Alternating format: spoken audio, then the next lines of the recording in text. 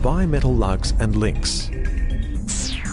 Bimetal lugs are used when there is a need to join aluminium cable to a copper bus bar, as electrolysis can occur when contact is made between two dissimilar metals.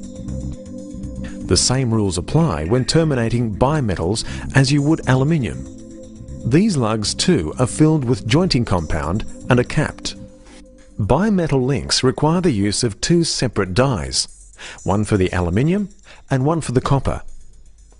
Reverse bimetal lugs are also available upon request.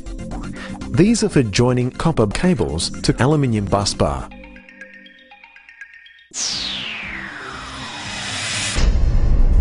KBAC would like to thank you for your attention.